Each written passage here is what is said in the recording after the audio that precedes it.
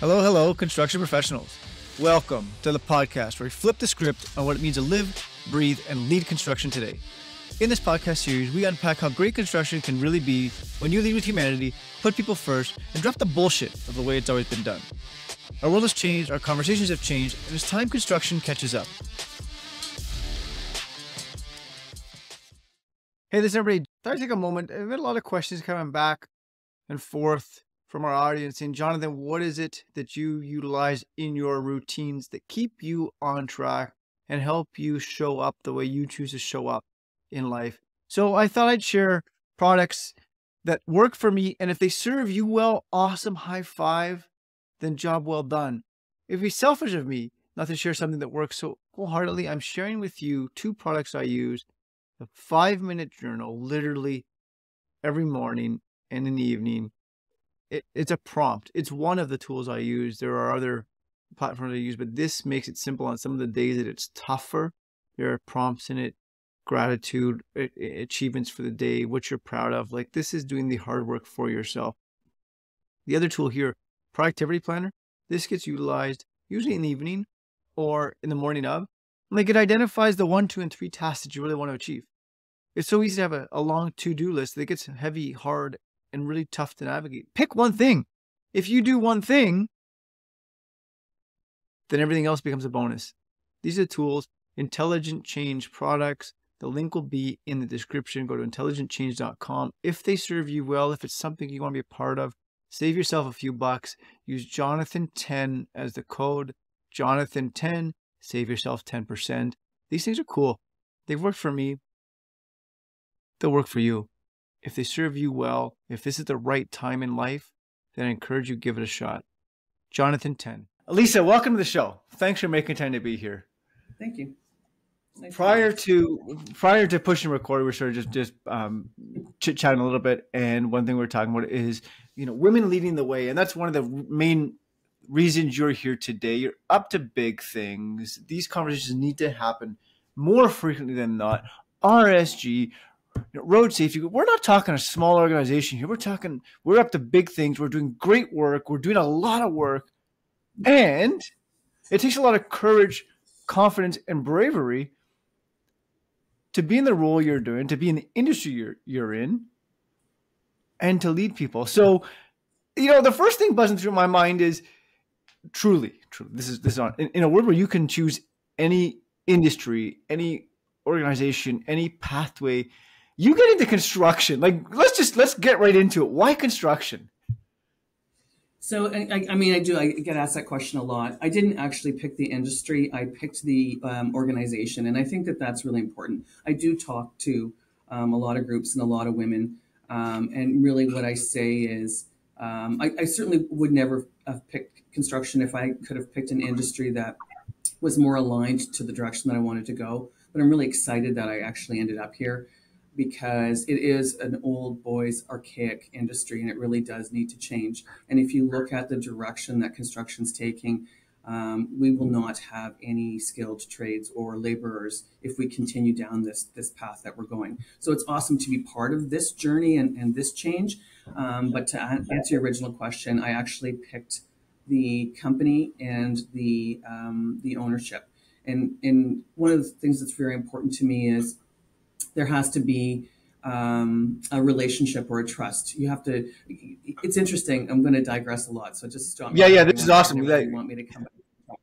Um, so I'm also the president of the Canadian Women in Construction CWIC, and they asked me when they asked me to be president. I said, make sure you want me to be president. I'm. You have to like my style, and my style is very direct, and I get things done, and I don't listen to the bullshit. Oh, I sorry, I, I, actually swear a lot, so let me. I, this me. podcast is all about being real, raw, and authentic, and swearing is, is very much okay. common practice. Okay, so uh, I'm trying hard not to. The more I speak, because I know it offends people, I usually start my uh, any session that with I, it, it, what happens. I'm very passionate about what I'm doing, so sometimes it just it just falls out. Um, so, and I'm, it's not meant to um, insult or or um, offend anybody, but I, I do. Right. I, I, feel like I need a disclaimer when I go places. Um, but I was saying to to the, the this all women board, make sure you want me to be president. I, I, I have a certain style. I'm very direct. Obviously, I swear now. um, um, I, I really get things done. And sometimes that's not what everybody wants, particularly in a leader. So to come back to my original company, so I was hired with Powell Contracting, and it's one of the companies under the RSG umbrella now. Um, and I was hired as a controller. That's my background is finance. Um, but I've always worked in entrepreneurial companies, and I've always had a role that's been a dual role. It's always been a controller position or a VP finance, working with the entrepreneur or the business owner. Um, and so that's really what drew me here. Little did I know that uh, you know I, we would have this exponential growth, and uh, and I'd be here today. It's interesting. I just finished uh, reading this book called Rocket Fuel, and it talks about the visionary and the integrator. And if you meet um, uh, Bill Powell, who's actually the owner of, uh, he's one of the owners. There's there's four actually, um, but he's one I work the closest with. Um, and and you, I can see now that the reason that one of the reasons that we're very successful, obviously the the main reason is your your employees, um, but that we work really really well together. And I would say he's the visionary and I'm the integrator, so I can actually um, see where he wants to go and and how we actually put all those pieces together in order for us to be successful. So that really is the key, and, and construction just happened to be the industry that he's in. That was an amazing answer to a, a, question that went everywhere and and super exciting. So there's so many different things that jumped out at me, right? I love that, and this is what, folks. This is this is it, right? Nobody gives a shit about the industry. You work for great people. You're around great people. You can work for it for you know. I'm, I'm going to say this loosely: the best construction organization out there, measured by a metric of financial growth, but they're a piece of shit people to work for. So it's not sustainable. It's not going to be around very long. Instead, I love where you pivoted to. It's like, hey, why construction? And it wasn't construction. It was you connected with great people. Yeah. Right. You connect it with great people. And I tell people when I talk about, it, I said the thing is, is we're because this industry is so difficult for women, and it is starting to change. But because it's so difficult, you have to work in an organization one that's aligned to your core values, because you won't be successful and we call it now uh, sponsorship. You need someone to sponsor you. You need someone that's going to take you out, introduce you to people, um, vouch for you. That's hugely, hugely important now in industry, in any industry, but particularly in our industry. And so, if that, if you don't have those, it doesn't matter um, how great you are, what kind of leader you are. Um, it, it, it, makes no difference. You will not. I, that's my personal opinion. You will not be successful. You need all of these pieces in order for you to be to get to where I am today without all those pieces in place. Um, it, it, just it, it, just can't happen. Or I think that there's just so many things against you that it becomes so difficult that you actually give up. And that's why I talk a lot about you know I, and I, I call we're blazing trails. I understand that I'm blazing trails, but we have to do this together. We have to blaze. I say it all the time. One trail, one big fucking trail that we all follow. One voice. We all go together. We're unified, and then everybody that's coming up behind us has this path to follow. Because what's happening now is, and it's starting to change, but we're really at the beginning of it, is everybody wants you to blaze your own trail. Do you know how difficult it was for me to get here? All the hardships that I had to go through. Um, and everybody wants you to do the same thing because they don't want it they don't want you to be where I am today and and and I blaze this trail and it's very easy to get to, to where I am people want you to, to, feel that pain that they went through to get to this position and that's really what I'd like to change to say we're only going to make an, an, impact in this industry is if we have women in leadership positions, if we have women superintendents, we have women for people. Um, that's going to be the change that we need. And we can only do that if we are inclusive, um, but also that we show women that, it, that it's okay to be here and that we're supportive of one another and that you don't have to do this on your own. Okay, there is a lot there. And I love it, right? Because you're challenging the status quo. I want to go back to something, and this I think for me ties in. You had said something that that piqued my interest earlier on in the conversation where you said, you know, it's an old boys club. True, right? Construction is very much an old, old boys club, and anybody who says, you know, you guys are full of shit, I, I, challenge you to give your head a shake. Like, look, it's an old boys club. There's nothing about that. There's not. There's nothing to hide about that. And you know, the comment was, hey, if it stays like this, isn't going to stick around for very long. Interesting right? I want to know more about that. And then you know you th- you talked about so actually let's stop let's stop there. What do you mean by that when you say if, if it stays the way it is, it's not going to be around very long? What do you mean? Well, if you look at, at the stats for the labor force for construction, I think it's eighty thousand people are going to retire in the next five years, um, and we don't have the, the the we have to change the narrative for construction. What was what it used to be was Um, if you didn't have an education, this was the the the, Yeah. the industry to be in, and that's and that's just not true.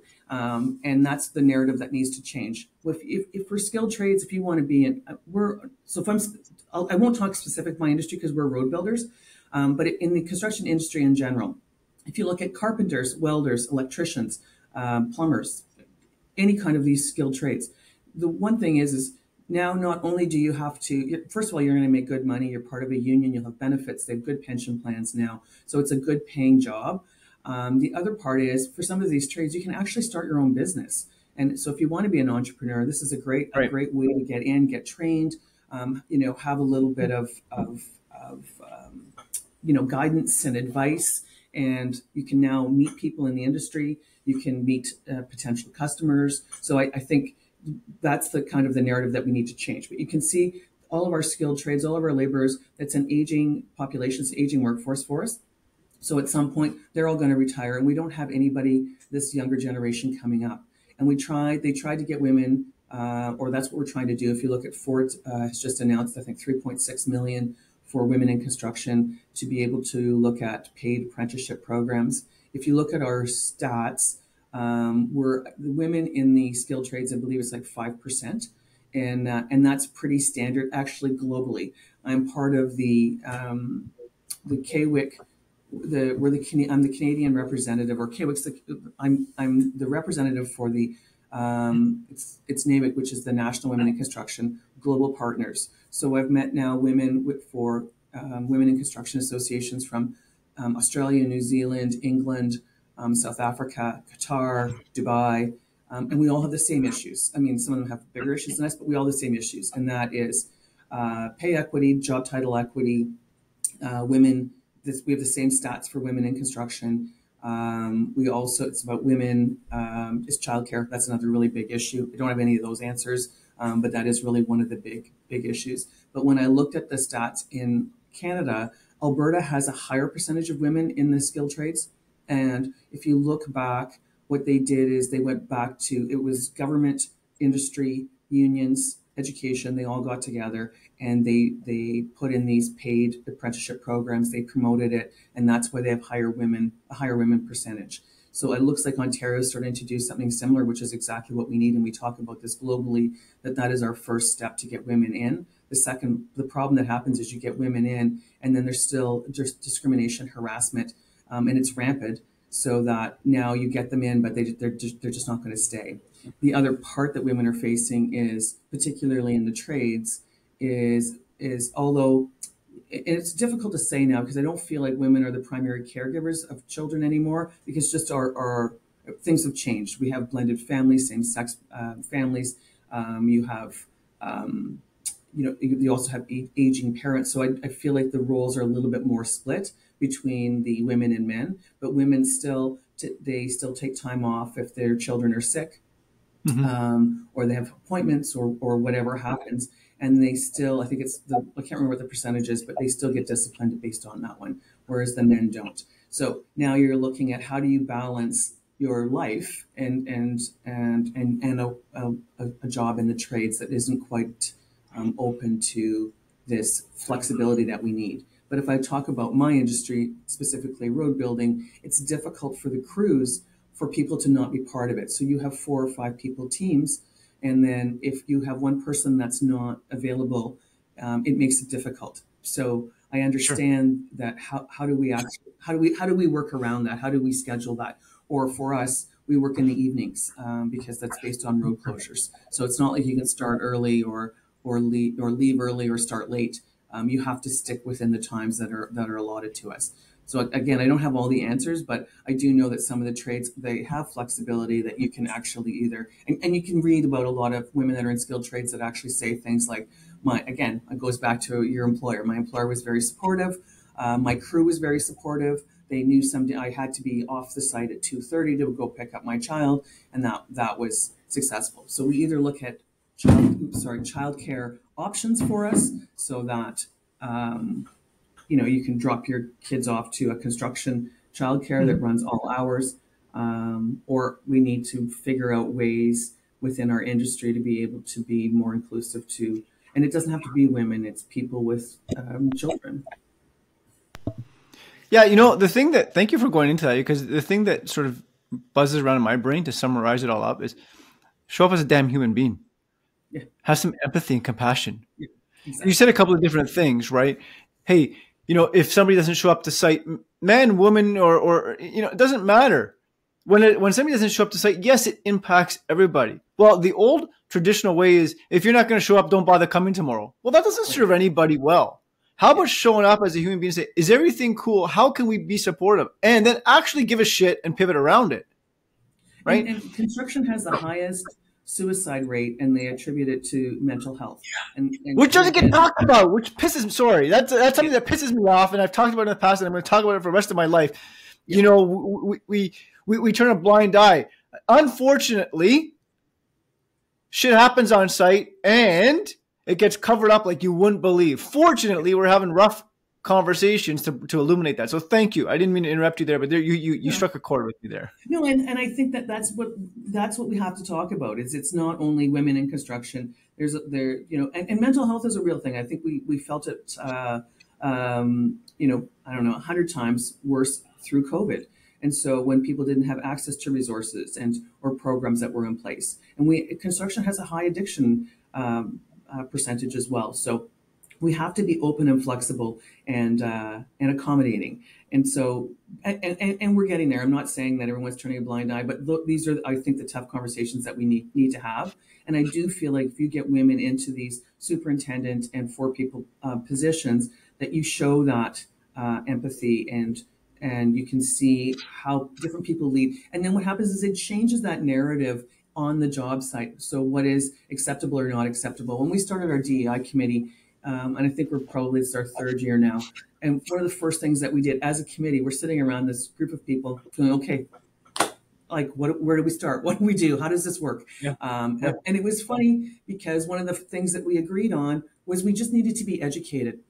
And so it just lucky for us, one of our committee, committee's members, her partner is a teacher in the um, is a is a high school. I think she's a high school teacher. Anyway, she's in the, the public system, and she had um, had give us got us this contact with uh, Garrett, and he's a, he's a teacher in um, alternative. He was an alternative school teacher. He's now with the union, and he does these equity. We call it we call it Equity 101. So he, he's done all of our training for for my uh, my group of companies, and I'm actually going to engage him to run this through CWIC because th- this was to me um, life changing so we go through the equity 101 training and it was a two two day full on two days and uh, this is where i learned just how much we don't know about one another and we don't know mm. about diversity equity and inclusion and that i really believe that dei is a journey it's not a destination and every day i'm learning i said now i would introduce myself as lisa Laronde my pronouns are she her and now i actually say lisa Laronde my pronouns are she her they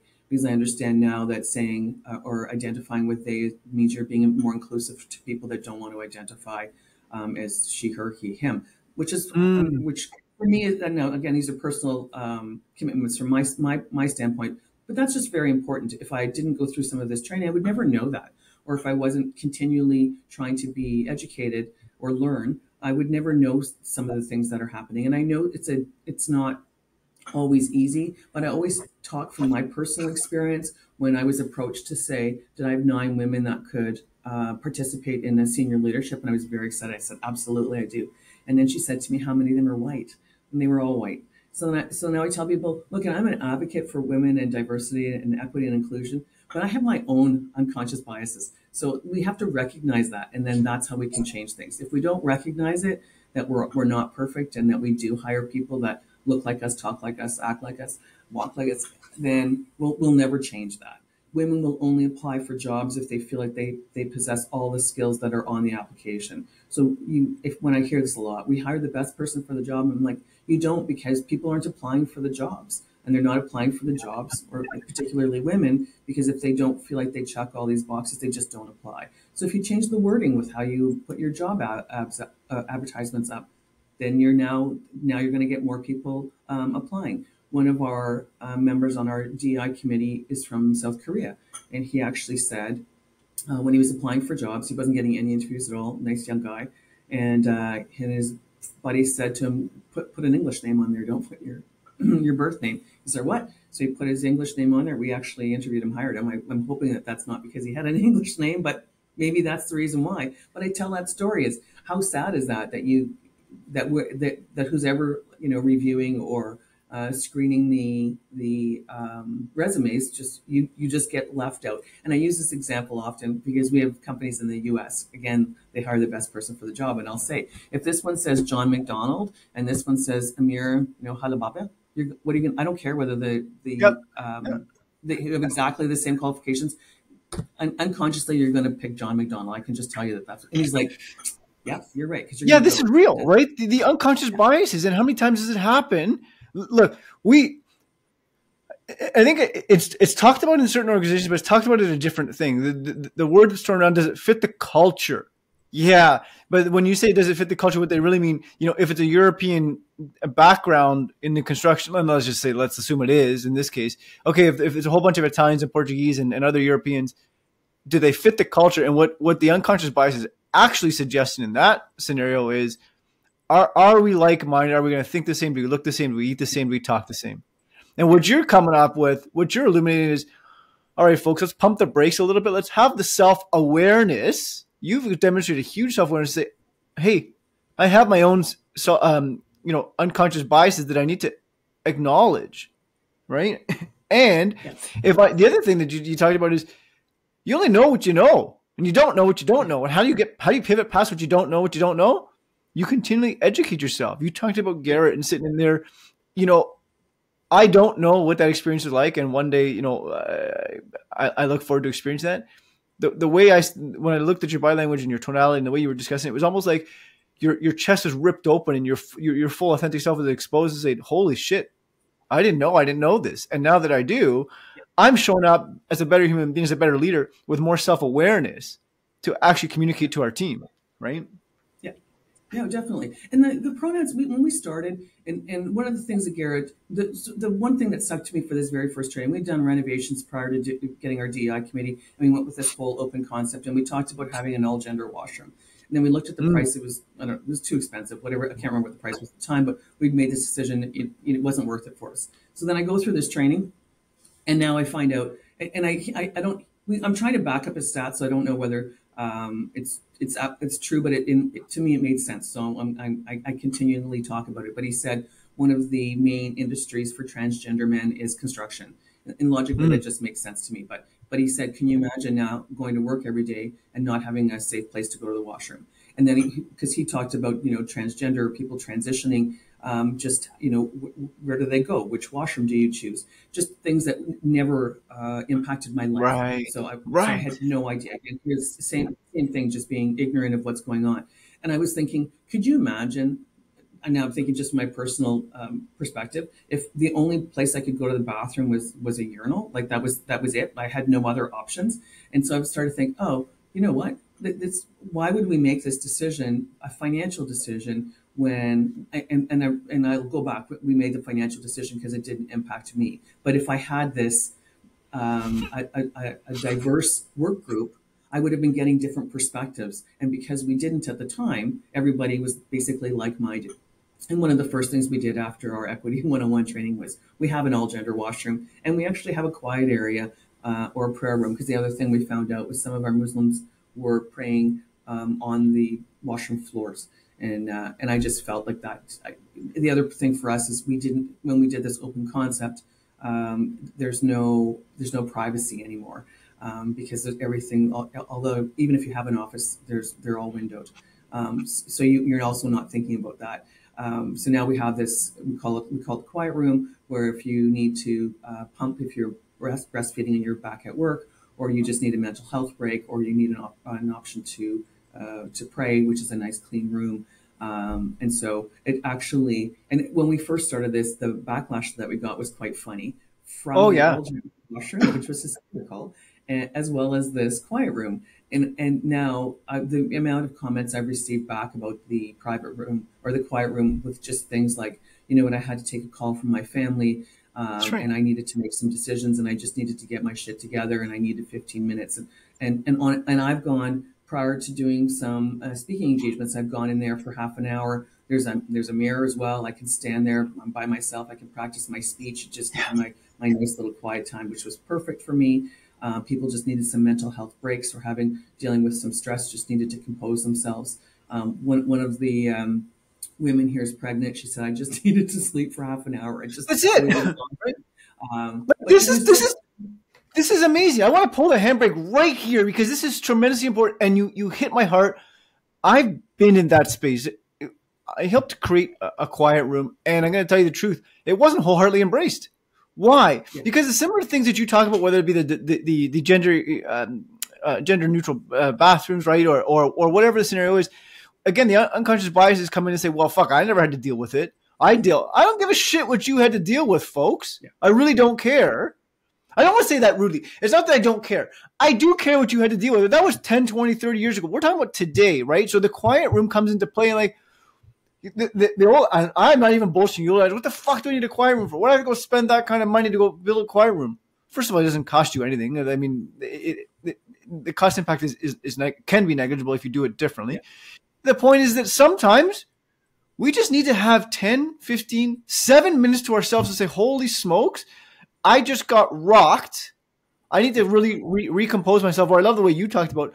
I've got a big meeting coming. I've got a big speech. I've got. I need to really just like you. You if in your scenario, if the offices are all glass, you're not gonna pace back and forth. That you know what the hell is she, what what the what the hell is she up to? Like you just need to, or fuck, I got a I got a headache. You know, or you know, like we, we had a coffee machine, and like sometimes you just need to go and make coffee by yourself, maybe invite somebody else into it go, you know what I'm really struggling with? This. Yeah. Because shit in life happens. You might just take a phone call that that, yeah. that rocked you because you found out some less than desirable news and you don't even know how to handle it. Yeah. You can't sit. You know, you, maybe you want to go there and cry for a moment. Maybe you just want to go there and say, I, I, I need to call my mother. Hope your mother's still around and you can call. Like, I need to call my father. I need to call somebody because I don't know how to deal with this." So anybody out there who yeah. said, yeah, I, am I'm with you. The quiet, the quiet room in construction, like we live. construction is loud. It's distracting. It's it's swearing. We yell and scream. We think that you know if, if you're if you're not ripping an asshole out of somebody, you're doing something wrong. Bullshit. Because you're a human being, and sometimes you just need to peel back and have quiet space. So so thanks for letting me go on to that. Yeah. Thank you. Hey, no problem. Know, That's what it's all about. It, it, it, yeah, right. So okay, so so let's just close close loop on this one. How has the quiet room been embraced? What's the feedback now that it's been implemented? Oh, so now I mean we're two years in, so now it's it's it's common. People would be shocked if we didn't have one now, and and you, you can see even in our industry, there where we were for for our our journey in my company three years ago. I feel like the industry is just starting to to come on board, um, and and now the more that you talk to, when you get our feedback from the from our employees about our culture that's really what you hear now. It's a very positive culture because every we have the same thing. The hours are really long. The pay sucks. There's no overtime. Like so we hear all those negative things. Those are consistent um, of things that we're trying to change but we are hearing the positives to say the culture is very positive and they don't only talk about dei they actually action it. And that's really yeah. important to me because i tell people First of all, in order to be successful, you're going you're going to have to have DEI. Statistically, it's proven that when you have women on your executive leadership team, you're actually more profitable than those organizations that don't. And if you have uh, gender diversity as well as um, uh, general diversity, you're actually more profitable. And that's because you get now, um, you know, just different different perspectives and different opinions, and it's difficult to make decisions when you're always when people are always agreeing with you and not challenging you because I, I say all the time i make decisions really quickly i make decisions with little information. It would be nice I, I need for my senior leadership team they all know when when when they're working with me that you have to challenge me. I think you can do that in a constructive manner but you have to challenge me. If you don't challenge me i'm just going to keep moving on and then I don't want you to mm-hmm. walk in my office one day after I said, okay, this is what we're doing, and rolling your eyes and going, what the fuck is she doing? I need you to say, yeah. this doesn't make sense for these reasons. I still reserve yeah. the right at the end of the day to make the decision, but I really need people that are gonna that are going to challenge me. One of the really good books I read was that Netflix Rules No No Rules, and it's not like you can apply everything that was in it, but one of the things they talk about is we set the rules because people break them. So why not just have conversations with those people that are breaking the rules so that we don't have to set them? So their philosophy was, you know, unlimited vacation, and it's been proven that um, people just don't take their vacation. The reason why they, if you give four weeks vacation a year, people take it is because you you have to use it or you lose it. So now you've basically Right. forced, which is I always think people should take their vacation anyway. Don't get me wrong, but it's that it's that uh, mindset that you go, oh, I, I only have three. I, I'm tracking. I have a week left. I need to take it, otherwise I'm going to lose it. If you say no, you have all the vacation that you want. You take what you need. Then Right. you're going to have people that are going to abuse it because that's just the nature of who we are. But most people won't. And then what happens is you you put the onus on the team that they're on. You're only going to take vacation if if your team is prepared for you to be gone, because otherwise all your work is going to fall on somebody else's shoulders. And then again, if that's what's happening, it's a conversation that you have with somebody. Yes, we have unlimited vacation, which we all we don't. Um, I would love to get there. I just don't know how to implement that because it, it becomes now you really have to manage it. But I do feel that that's really wh- where we should go. Is we should be using common sense, and for people that are breaking the rules, is we have those conversations. Or people that aren't making good decisions, you have you have those conversations with those individuals rather than penalizing everybody because one person has broken the rule or done something. Right, and, and this happens more times than not, right? Something happens and we we th- we throw it out and say everybody's abusing it. No, no, silly. Let's let's actually address. It's like you know, it's like the- the instructions. Don't put the plastic bag over your head. It's that's like you know. Don't put the plastic bag over your head. Okay. I'm, I'm surprised we have to actually write that down. But somebody sued somebody, and now this is their um, solution to say, please think about what you're doing. Yeah, yeah. Take some ownership. Okay, so I, I really want to challenge you here because this is where it becomes fun, and I'm going to throw something at you, and it, it's it's not meant to be insulting; it's meant to be real, and it, it's if it hasn't happened, it's going to happen, and so I want to to paint this picture. You've got construction professionals that have been doing this for 30, 40 years, their entire lives, okay, and. Somebody comes to you and says, fuck this bullshit. We don't need diversity in construction. It's working fine the way it is. You guys are all fucked. You're full of shit. How do you respond to that? I usually go back to examples, um, and I go. We I get a lot of that for the pronouns, particularly in the U.S. Like, why why does it matter? And you don't understand where um, where our businesses are located. That this isn't acceptable.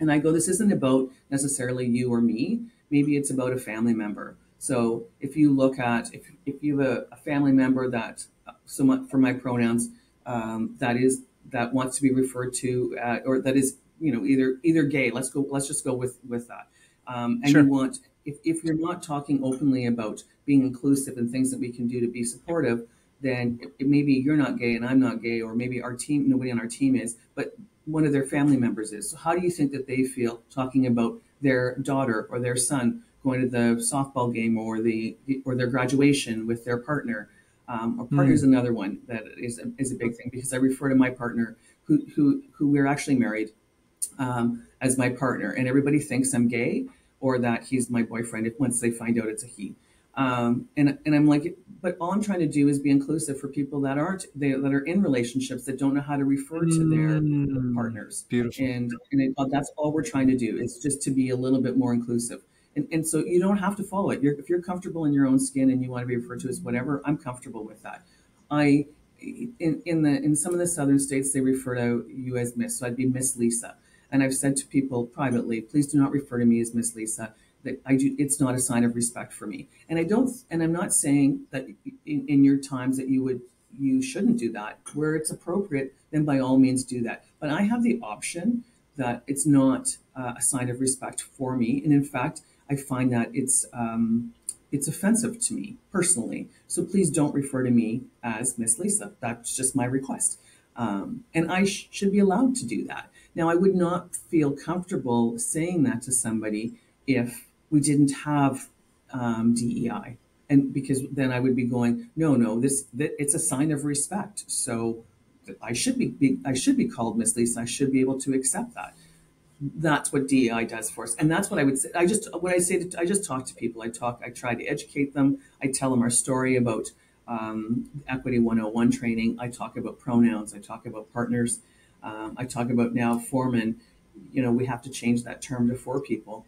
And I was yeah. just at a session actually in uh, in Portland, Oregon, and I was listening to the stats. I, it was a it was a NAWIC conference, and I was listening to the stats, and and the, the gentleman's giving all the stats for women in construction, which was which was very very interesting. And I put my hand up and I said, "Can I just ask you to use the term for people instead of foreman?" And you know what he said in front of a group of whatever, 400 people. Um, everybody in the survey referred to themselves as foremen, even if they were women. And I said, that doesn't matter. The change has to start somewhere.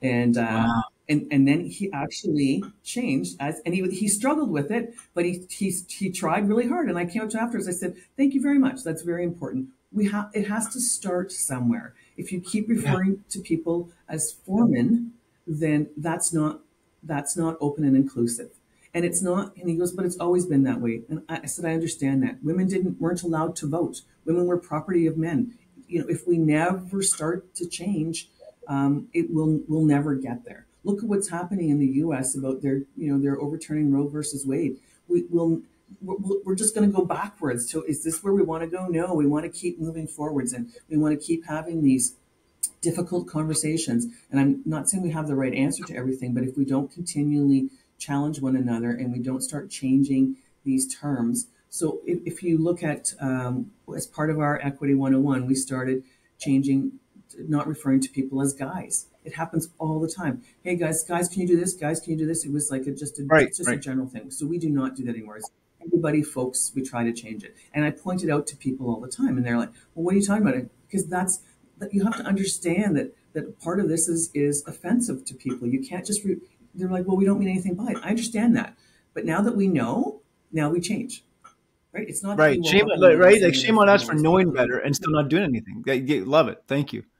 That's huge. Yeah, exactly. So now we know. So now let, let's change it and let's let's just it's just words, right? And and because you don't mean anything by it, so you're, you're not trying to be offensive. So let's change. Now that you know, like let's change it. And that's really what what we what, what I'm trying to accomplish with people is talking to people and saying. Um, let's let's let's start with us just our little tiny group let's just start and it's surprising now how much converse then it's you know maybe i'm bringing that conversation home to my family or you know maybe i'm bringing it out with my friends now and and i do have a group of friends that don't understand um, completely or maybe are not completely on board and my partner and i talk about this often is you can tell, you can see you start to actually separate yourself a little bit because you're you're, you're like you have to embrace it and i'm okay if you don't agree with it but you have to embrace it and you have to actually have the conversation. We're never going to change everybody, and I wouldn't want to. Again, I think we need we, we need all forms of opinion, and I think I think that's important. I just think you have to be open to listening. Yeah, and I think the biggest thing that you identified there is, you know, when somebody comes at you and said, "Okay, so uh, uh, we don't need this, we don't want this," right? What, what, what's your actually? You have a choice there, right? And this is where it's beautiful as a human being. You have a choice. You can I, am going to use this word purposely. You can submit and sort of just like, all right, well, it's my shit I have to deal with now, right? Because words mean what words mean to us. My the words, the way I interpret them, are, could or might may or may not be the same way that you interpret them. Instead, what you did there, what you've demonstrated, is how to pivot past it to say, look, I'm going to take a true temperature reading on what's going on, right? Look at the the, the scenario you talked about. This gentleman, uh, I assume was, I think it was a gentleman, but I assume so. Um, again, my bias there, leading this talking about this, saying, okay, you know, foreman, foreman, foreman. You took a temperature reading on what's going on. Hey, this is what's actually happening. And then, again, step one, temperature. Now I understand what's going on. What do I want to do about it? Well, many people would just sort of submit and deal with it themselves. Instead, you do you take the next step, right? And you set the boundaries comfortably and respectfully. Here, these are the boundaries that I'd like to stay within. Can we all agree to this, right? And look at what happened. Yes, there was resistance in, and, and not negative resistance, but resistance in sort of just changing that pattern and changing the narrative and readapting. And what actually ended up occurring is beautiful, right? It's by setting those foundational boundaries. This is what's acceptable, folks. I love that. I mean, th- this is true. This is right. This is what's acceptable, folks, and this is what's not. Right, right. It it it yeah. I love that. There's that framework too. Okay, guys, we, we do it inclusively. Like it's okay, guys. Let's take let's let's let's take on this challenge, right? Well, now you know the trigger's off to say, okay, folks, here's what's up. How do we get past this? Like that little shift gives different energy, different context, different inclusiveness, right? Like we're all we're actually all in together. It's interesting. So uh, uh, my daughter's a um, obviously a big uh, a big DI uh, advocate. She's you know young in her twenties, so um, just has a much different perspective because she was you know educated a lot differently than, than I was, and uh, and and we we talk a lot, and so I get a lot of advice from her. Um, but it's we were talking one day, and I was saying something. Oh my God, she's such a bitch, and she said, you know, mom, you, you can't say that. It's a derogatory uh, term against women. I go, that's not how I mean it. She goes, no, there's no like male equivalent to it. So if you're calling somebody a bitch, you're actually it's a it's, you're you're you're trying you're, it's a degrading term. So I was like, well, that's not what I meant. So she goes, just pick another word. Like I understand what you mean, and sometimes you can use it depends on on the context of how you're using it. So anyway, we I don't know. We were joking around. We are saying so we came up with poo poo head. Oh my god! So I use it all the time. Like, oh my god, such a poo poo head. And now it's a big joke here, I, particularly in my office. Uh, one of the guys that are VP of HR, he goes, you called me a poo poo head the other day. I was like, so, but now what it does is it just, now it's caused this conversation with, with my work colleagues. And now I've brought it to their attention. And we were just in a golf tournament on Saturday. we had the same conversation. And one of the people that was at the table said, well, it's a female dog. And I was like, yes, I understand that. But that's not what you're doing when you're calling somebody a bitch. You're not calling right. them a female dog. So that's the, and you can see now they're like, because it's always been that you can tell the conversations that have happened. That was always the, the excuse. Well, I'm a, it's a female dog. It's a word. It's a word we can use. Yeah, you can use it. You can use it in that context. It works perfectly fine. But otherwise, you, you, it's just it's offensive to women. But it's interesting. Okay, so- again, not having those conversations or not having those conversations, you would never know that. So just I think it's that's that's what we that, this is the evolution that we we need to get to is to have these kinds of conversations because you don't realize. Uh, that, what your what the impact of your words are because that's not how you mean it. Yeah, look, you just eliminated something for me. I, I, I love that. You chose a word, poo poo head, which d- did two different things. A connected us. It, it it shed light on the scenario, but it also illuminated. Maybe I am being a dickhead, right? Like whatever that is. I don't know. I just use that word for the came right. If, if, if you said, oh well, you know that person is such a bitch, it, the easiest thing to do is armor armor up and be ah, you know, like fuck off, leave me alone, right? But instead, now you're saying, oh, you're a poo poo head, and you walk away from that, and you're like, what did I do there to create that scenario, right? Yes. First of all, it's sort of it, it, it's it's lighthearted, and it's like, look, if somebody calls you on your shit, sometimes you need to listen, yes. right, and and and, and analyze it, and like, is it true? And if it's true, what can I learn from it? And if it's not true, then I'm just going to dismiss it and move on and not not become attached to it. Yes. Right. So there's something like look at look at the power of our words and power of our language. Yes. This is cool. Like like so you've talked about a whole bunch of different things and it's pretty magical. I I want to know what do you do specifically? Like if you could sort of illuminate that for our audience out there and say, okay, folks, here's what you know, here's what excuse me, what Lisa does. How do you connect with people? What do you truly do to connect with people?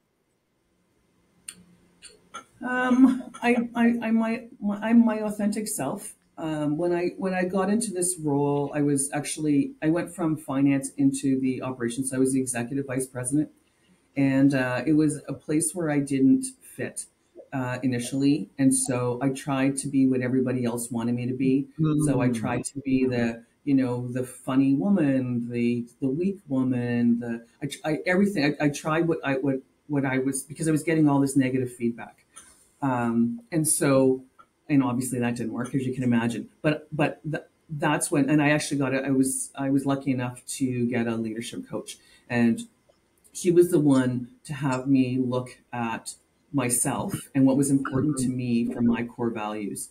So now what I and and I and that was eye opening for me to understand that I'm not going to be successful in an organization that's not aligned to what my core values are, and to understand also that my words and my body language have impact on people regardless of uh, if, if I think that they don't. And, and I'll go back to um, one of my early days, one of our work, uh, and this was a, a, gentleman who worked for me, um, and he had OCD. And we, and I didn't know it at the time, um, but mm-hmm. so we, you knew that he he always had his desk really clean and everything was like lined up perfectly. And so we used to go in at night as a joke and like take the stapler and put staples on his desk and move his post-it notes around. And and he was very he you know he he'd laugh about it the next day. He was very engaging. Thought so. Here's your unconscious bias.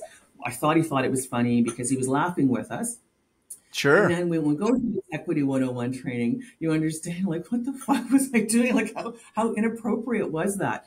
But and part of that was he did he never said anything and I apologized to him and he appreciated that. But I said at some mm. point, you know, you you you need to actually say this is not appropriate. And obviously he didn't feel like he was in a safe space to be able to do that which was another thing that we learned that in order yeah. for you to get this uh, feedback you have to offer a psychologically safe space for people um, because otherwise you. will never get the, you'll never get the feedback. And so that's so all of those things i've i've learned. So now when i approach people i'm my authentic self.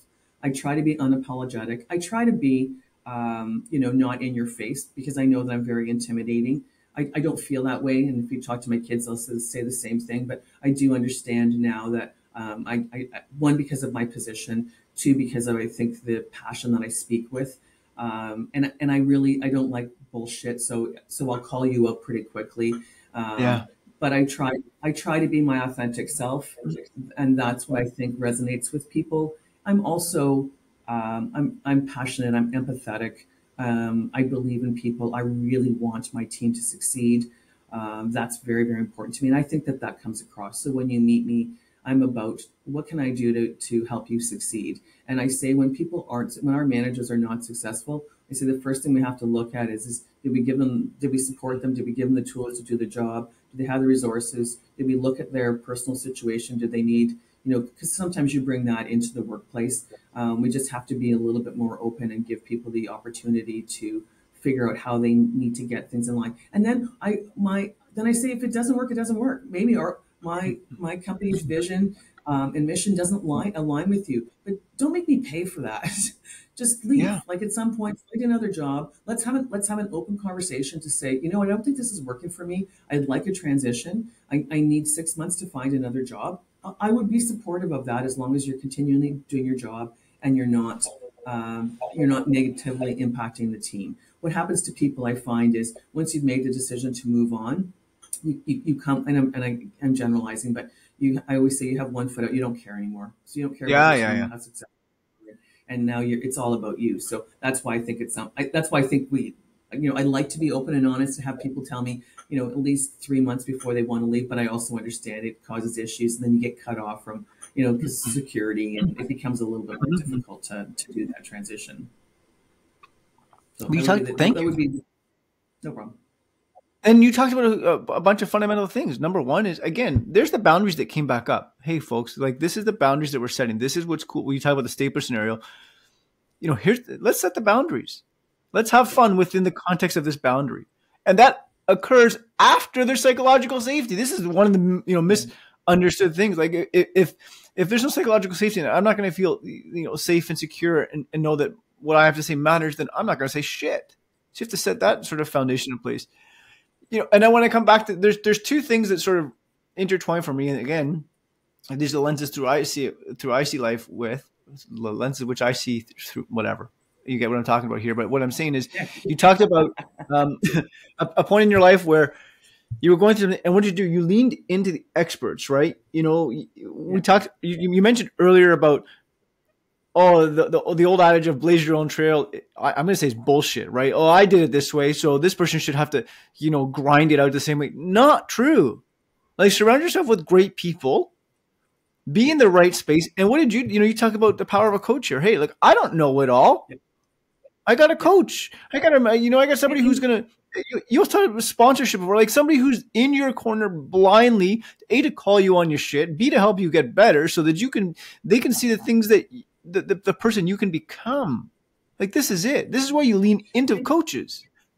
And I think the thing with the coach is that they're independent and they're objective. So they don't have yeah. the emotional uh, baggage that you have within your organization. So although you can have um, you know, a confidant in your organization, they still, they, you know, everyone's everyone's still at the end of the day, you're still looking out for your your best interest. I mean, the last thing you want to do because that's that's what everyone worries about is getting fired.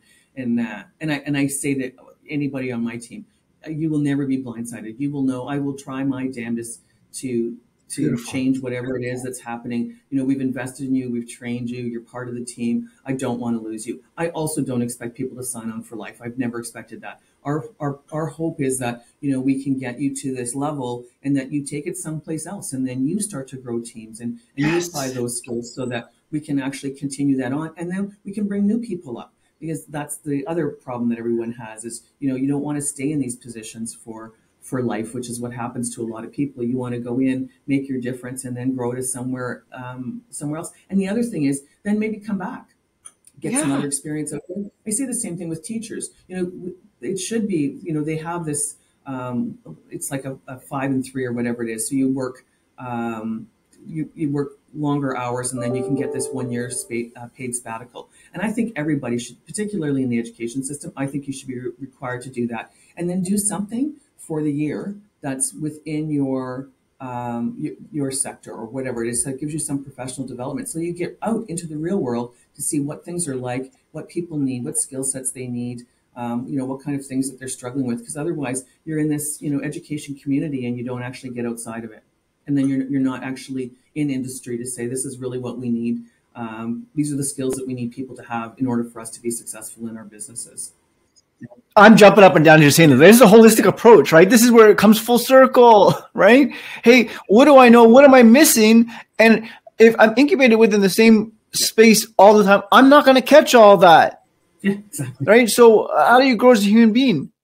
Introduce different things, right? So, um, talk to us a little bit about the Canadian Association of, uh, of Women in Construction because this is really cool. And I want to sort of just pivot back here briefly. So tell us a little bit about that. How do we how do we get involved? How do we support it? Sort of who's it for? Yeah, so it was actually formed. Uh, it, it has an interesting um, story behind it, and it was formed um, out of the this National Women in Construction that was based in the U.S. So we were one of the first um, affiliate members. And what we're trying to do is have this national voice. Now it is based mainly in Ontario, so one of my uh, mandates is to have uh, a national voice because obviously the West has a, a very big part to play in women in construction, and I think that we need to work together. So we're trying to do this unified voice, get industry together, the unions, a government, um, associations like ourselves to be able to promote uh, women in construction and look at all of the issues that we face. Again, I think I spoke about that a little bit earlier about uh, pay equity, job title equity, um, access to childcare, um, and and Mm, access okay. to you know either paid uh, apprenticeships in order for us to be able to um, fill this void in, in the, this labor gap that we're going to have within the next five to ten years. Um, so yeah, it, we would welcome any um, members or volunteers that would that would be uh, willing to help out. The website's the best place to go, which is at cwic.ca. You can connect with me on LinkedIn. That's another great way. We're on LinkedIn and Instagram, if I'm not mistaken. Um, and um, yeah, participate. I think it's awesome. You can do an individual membership or corporate memberships. Allows you to vote and uh, get involved in some of our committees. Um, so yeah, it would be awesome. So we can we can blaze these trails together. Well- and it's open to both women and men. Thank you. And that's yeah, and that's the whole thing. That's what it's about, folks. Is, is like do, doing this all together. We got to get out of these silos where we we must accomplish things ourselves. No, it sucks. It's heavy. It's it's debilitating. It's it's it's exhausting. So, okay, a couple of fun questions. Um, what's a well? This is not really a fun question, but this is a, a thought provoking question. What's a big misconception about women in in construction that you'd like to debunk? Uh, we're not all poo poo heads. I love that. Yeah. Right? Uh, yeah, Yeah. I think. Uh, yeah, I think that's that's the thing. We're not all these strong. Um, you know, we, you know, we get. I get a lot. Uh, my credibility suffers because I didn't, you know, run a crew or didn't run the the piece of equipment or I don't know how to how to use the piece of equipment. And and, and honestly, t- t- no, I'm talking about women in leadership. You know, to be in these positions, Sure. you don't have to. You don't have to run a crew, and you don't have to uh, know how to run all the equipment. It's a different skill set that's required. So. Um, and I know that gets thrown out quite quite a bit, um, particularly for people in my position, that they feel like that's the that's how you would define how you're qualified to do the job. So that's really what I'd like to change is is it's it really is a different skill set to to be running a business at this level. you don't even have to be from the industry. I don't think you need to be uh, from construction to be able to run a construction company. You have to have good people yeah. that are going to run your crews and understand what the business is. But when you're running a business, it's it's a you're running a business regardless of the industry that you're in. Thank you for that. That, that was that was beautiful. That was beautiful. Now, if you could travel back in time and give your past self advice for the future, what would you say? I would have learned to golf. And I and I, I get a lot. I'll tell you, a lot of stuff gets done on the golf course. And this has been a real. I tell everybody this. Um, I took up golf during COVID because it was the only thing that we could do, and uh, my partner golfs as well. Um, and mm-hmm. um, the amount of opportunities that I've been afforded because one, I actually enjoy it. It's a game against yourself, which is awesome. It's very humbling. You can hit this great yeah. shot, feel like you should be on tour, and then you you know tank it in the water in the bush the next shot. So I, I really like that, and I, I, and I actually say sometimes it's like building a team. Sometimes your team's like, yes, we're ready to go, and there's like, oh my god, what do I do? How did the, how did we get here? Um, but what happens is you get, uh, particularly in construction, there's all kinds of golf tournaments, and I've been out there, and women, um, they they don't golf or they only do it in tournaments, and, and the first thing that happens is they say, I'm not very good, you know, and then they they maybe it's a bad shot, and then what happens is the you're equal and all of a sudden now you're the inferior person. And the guys start to say here i'll show you how to golf. Hold the ball you know hold the club like this do this. And now you've lost that advantage that you're an equal which is quite interesting. And it happens it's all uh, it's all unconscious bias. It's not intentional. Uh, it's just the way that rolls out. So, so all I tell people is just be confident. You don't have to be a great golfer. You just have to be confident. Go out there, hit that shot. They're all about. No one's no one's good. We all work for a living. Nobody, none of us are on tour. But you're confident, and it, it will. Uh, sorry, it will allow you to um, to or you'll just get invited out. And now to to one of the you know they want to take three one person wants to take three other people out it's a whole day you're together between four four and a half hours usually you do lunch afterwards um, or maybe it's an afternoon you do dinner you get to spend all this time with decision makers why wouldn't you want to do it you just need to be confident and you and you also want to even this playing field so if i could have done anything that's what i would have done uh, and i know it sounds really silly but it really gives you an upper hand all over the place. It's it's amazing. I've been invited to the pro am now. Everyone's there. I can't believe you went. Said I would not have had the and I'm not a good golfer at all. Um, I don't have a handicap. I don't. I work too much to be a good golfer, but I'm confident that I'm going to go. And honestly, I don't give a shit anymore. I'm going to go. I'm going to. I'm going to enjoy this. This is going to be a once in a lifetime experience that I'm never going to have again. I'll never get invited back. Um, this would be. This is just awesome, and I would never have done that if I didn't actually take that up. My gosh, that's beautiful. Oh, Thank you. Like I would have never thought of that, right? And the way you sort of unpack that is there's a way everything happens there, right? Yeah, okay, sure. You know, yes, you get business, but more importantly, you again, you're setting the boundaries. Hey, uh, we're we're equal here, right? And if you don't, then subconsciously, uh, you know what what what happens. But and most importantly, you're connecting with human beings, right? You're connecting. So thank you, thank you, thank you, thank you. This has been magical. I'm I'm I appreciate you. I truly appreciate this whole conversation. Uh, you know, our, our, our, audience out there, folks. This is this is real. This is raw. This is authentic. This is what we're talking about.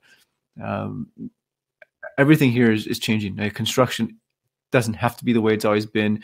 We're changing the narrative. We're flipping the script. Lisa, an honor to share space with you. Thank you. Thank you. Thank you. Thanks. How do people get in touch with you? LinkedIn is the best way I say. Yeah, LinkedIn's the best way I say uh, I I I I, uh, I truly connect with everybody. When I was part of my journey, that's one of the things I looked at is how do I connect with other women. Um, so uh, if truly, if you're a woman in in construction or in leadership in some, I will I will definitely accept the uh, the invite. I, I do it all the time. So that's I'm I'm here I'm here to support and sponsor any women that want to, um, and anybody for that matter. But obviously, my passion is women to get us uh, a little bit more in, in into these leadership roles in any industry. It's beautiful. Thanks for making time. This has been great. I appreciate you, and we will stay connected. So thank you. Awesome. Thanks, Jonathan. It's been very, very nice, and thank you. Appreciate it.